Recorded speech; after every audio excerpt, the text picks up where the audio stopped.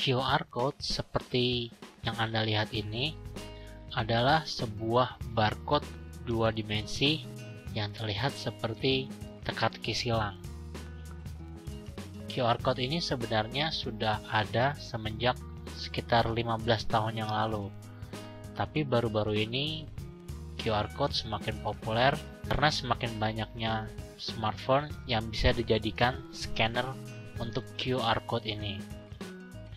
Anda sendiri juga bisa membuat QR code ini dengan mudah.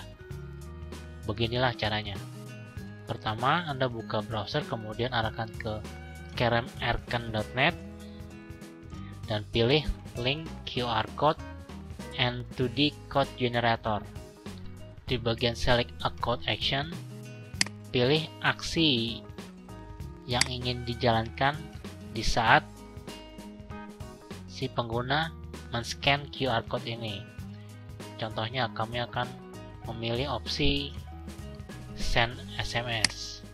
Jadi nanti setelah QR code ini di-scan, akan langsung muncul opsi mengirim SMS.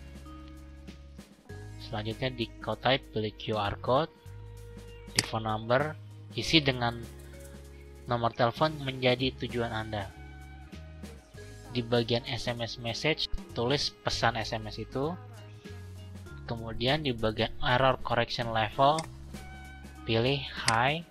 Di bagian block size in pixel pilih 30 di bagian foreground dan background kalau bisa gunakan warna hitam dan putih bila sudah klik generate code.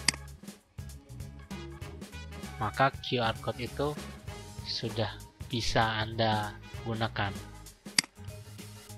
Selanjutnya adalah Anda tinggal menyimpan gambar ini.